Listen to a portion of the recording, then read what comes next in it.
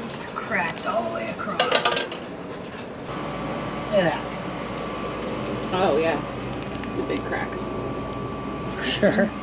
So this is a drain trap that traps water in here. It's used in different uh, applications. You can use it in plumbing so that, for example, like floor drain, you don't want any gases coming back up and smells. So it kind of puts an air block, if you will.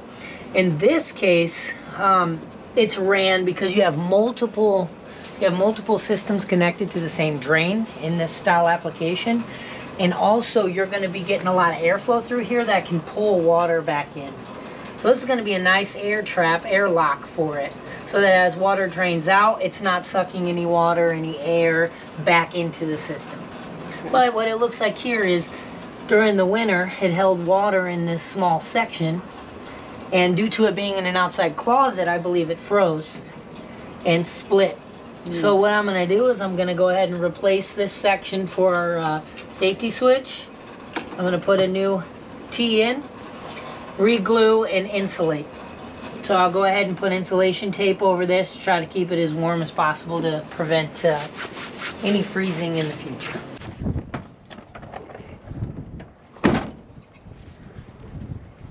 I'm priming and preparing PVC so that I can rebuild this uh, condensation. Making a clean surface so I have a nice, good, tight seal on my glue. So I didn't have a PVC drain trap on my truck, so I'm gonna make a custom trap. If you don't get it in nice and tight with a good glued and primed surface, and it's gonna leak and drip water. And in this case, there's plywood underneath, which could rot out and ruin the ruin the floors, ruin the closet, and we do not want that. So it's very important to keep water off of that wood. And I put this cardboard down so that I have a nice clean work surface. And I do not want to get any glue or primer on the floor.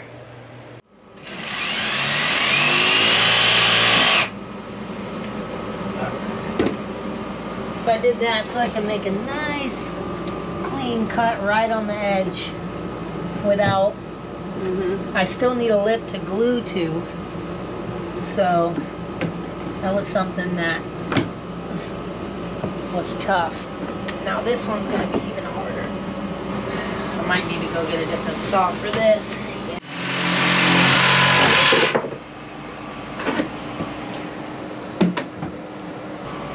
Look at that.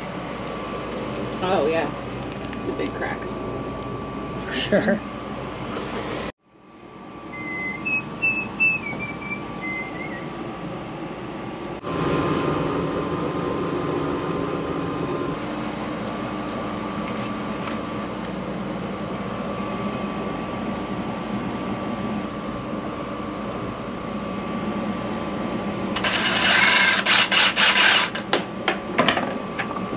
Are these units completely separated? Or are they at all attached to their neighbors? No, no, they're completely separated. So the vents just kind of go in the, the edge of the house and around. Okay. So, yep, they're all independent. They're just packages.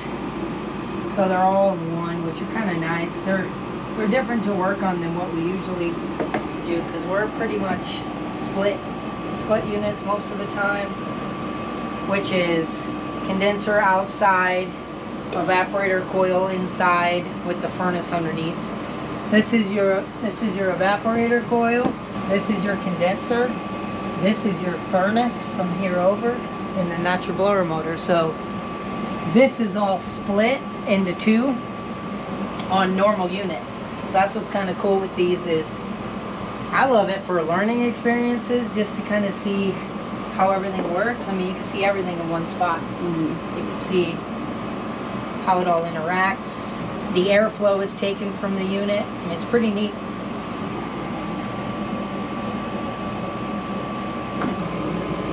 And a half.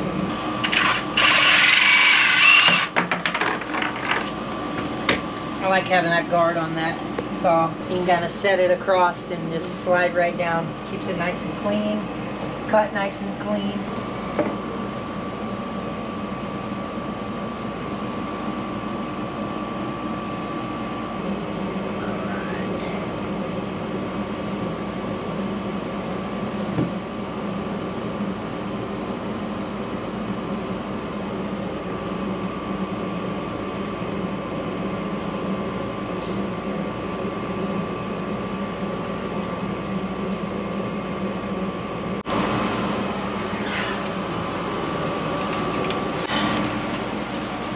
This section right here. And we are done.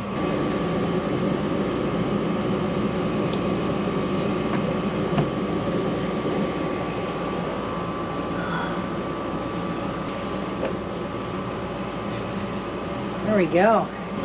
Want it to look exactly the same, like I, like it was supposed to be there day one.